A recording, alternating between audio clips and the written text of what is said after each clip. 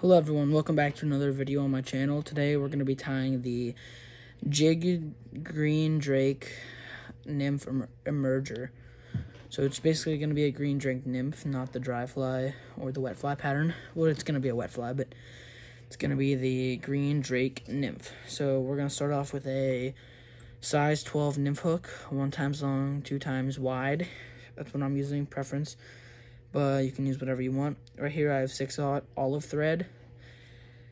And you're, you're to need like a kind of like a dark green dubbing. I only had light green and olive dubbing, so I had mixed light green and olive together. So we'll make do with what we have. So first we'll start this olive thread right behind the bead head. Run it up just a little tad run it up about right behind or right almost pretty much to the bend then just bring it back and we'll snip our tag end. All right next we're gonna get a tail piece. So for that i'm probably gonna use pheasant tail. Get ourselves a piece of pheasant tail here. All we need is about two or three fibers. Just grab like four or five actually all right, right here we got some pheasant tail. And we'll tie that in place. Probably just want like a quarter to half of the hook length for the tail length. It's about all you want. And we're just gonna tie it down the length of, oh, I just popped my thread. I'll get back to you guys right whenever I get this thread threaded. Alright, I'm back. We'll just snip our tag end of pheasant tail here and start our new thread. We have it. So we'll just wrap it right over that one we went on. And we will snip both tag ends here. That is how you restart thread if you happen to have a break. So we're still going here. Gonna hold the tail down just a tad bit more. I must have caught that hook point, that's why it broke.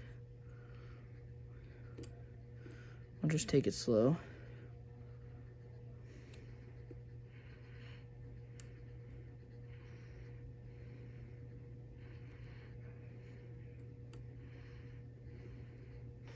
Alright, that is our tail in place now. And now we're going to tie in wire. So for this, we're going to be using green wire. I have here medium-sized green wire. And we'll tie that in on the back side, the length of the body. Don't bring it up into that head area yet.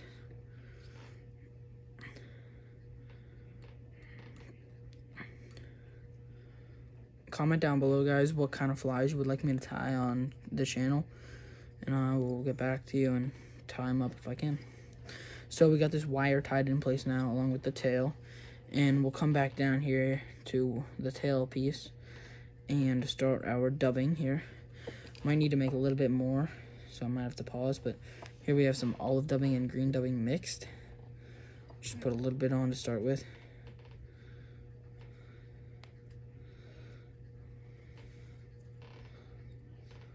Now this dubbing does not have to be neat whatsoever.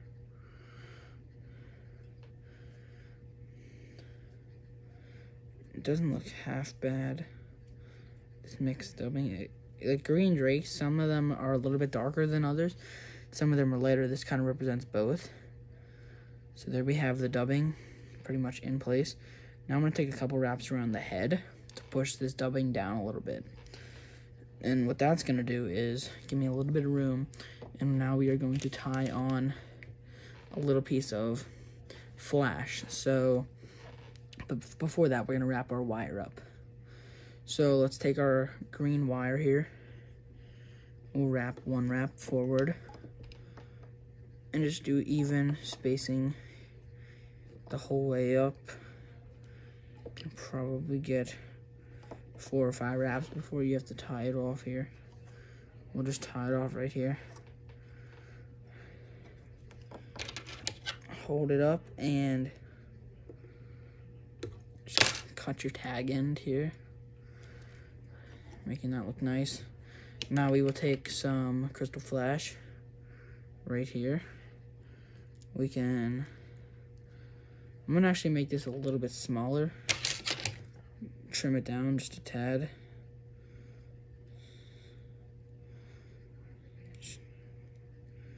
Bear with me for a minute.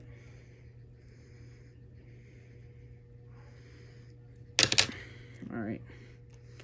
Now we're gonna hold that in place and just tie it down. Just like that. Keep on tying it down. About size of a head or like a size of a hackle that you would put in for a dry fly. And now we're gonna dub this up just a teeny bit more. So just take a little bit more of your dubbing. Dub it in one spot of the string. You can make it nice and thick if you want it. I make my heads a little bit thicker. So then we'll wrap that flash forward. One loose wrap, two loose wraps, and a couple tight wraps to secure it. We'll trim that flash there and continue to do a couple secure wraps touch it up a little bit, make sure it's looking good. Everything is looking great. This fly works really well.